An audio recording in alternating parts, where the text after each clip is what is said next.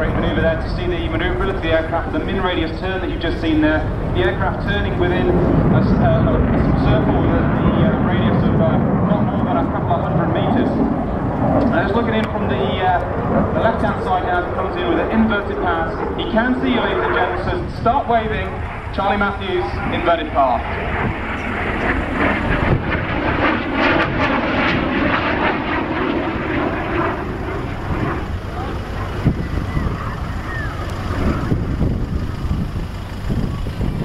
Now Charlie's a uh, qualified pilot instructor on number 29 Squadron, and when he's not flying the display, he's instructing pilots how to fly the Typhoon and how to use it in that operational role. Just coming towards you now for an on-crowd VV barrel roll, another great photo opportunity.